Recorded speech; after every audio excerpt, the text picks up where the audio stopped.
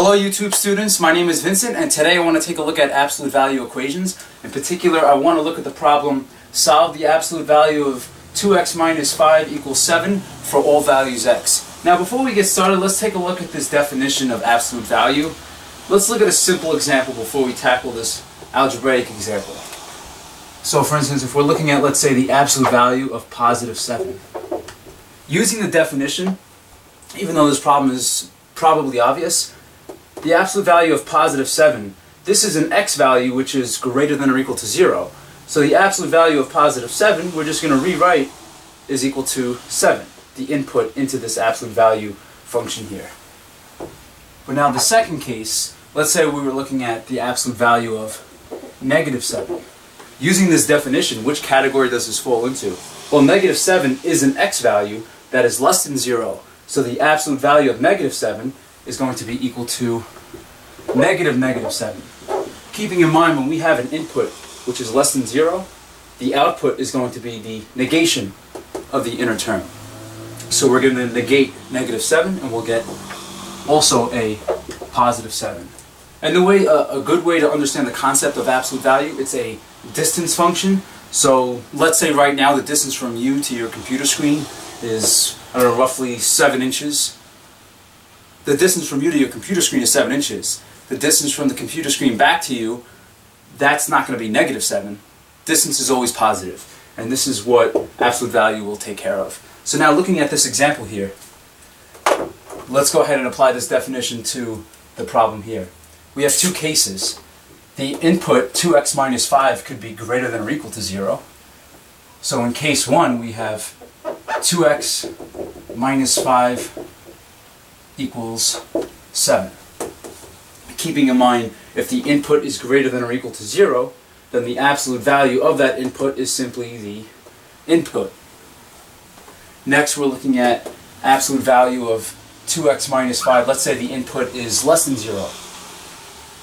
Then in this case, the output would be the negation of the input.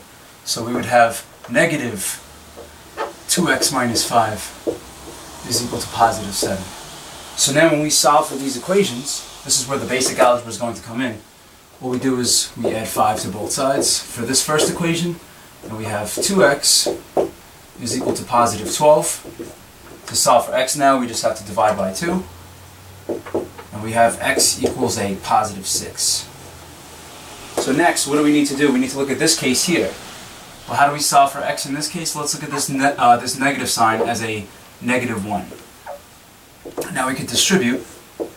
We have negative 1 times 2x is negative 2x. Negative 1 times negative 5 is a positive 5. And this equals positive 7. So now to solve for x, same strategy as before. We'll subtract 5 from both sides.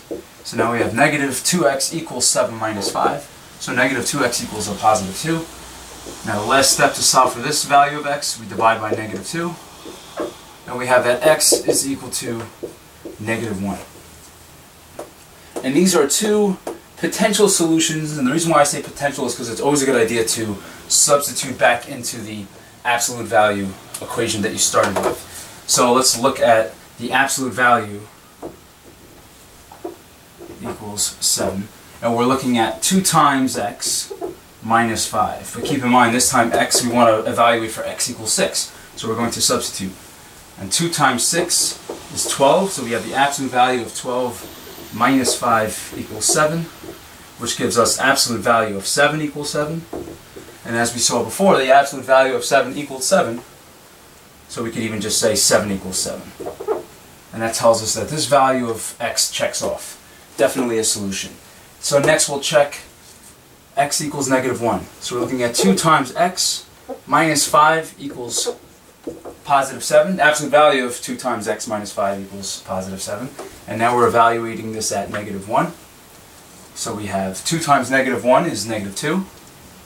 Minus 5 equals 7.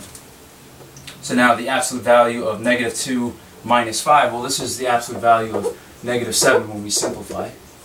And what did we say before? Absolute value of negative 7, using the definition, told us that absolute value of negative 7 equals 7. So we have 7 equals 7, and this solution also checks.